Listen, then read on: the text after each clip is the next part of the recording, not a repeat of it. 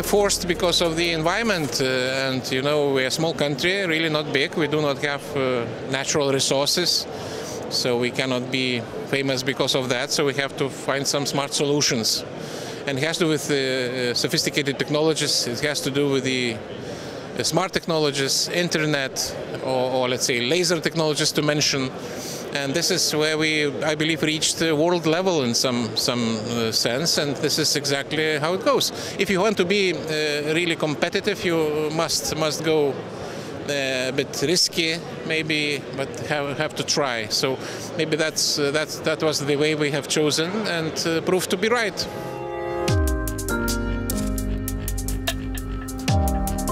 We can learn many things from Germany as, as well. We talked with Heiko Maas, my, my colleague today, also about these issues.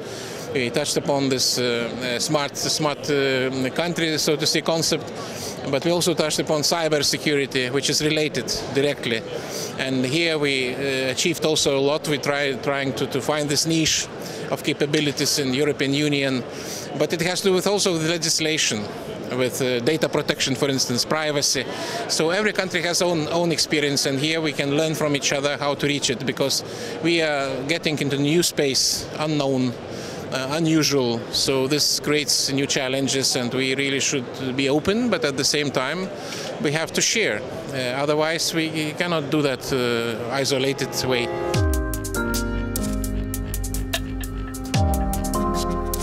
I was told that the first one was also successful. That's the reason why we have second. Also, I was told that this is uh, twice bigger, larger.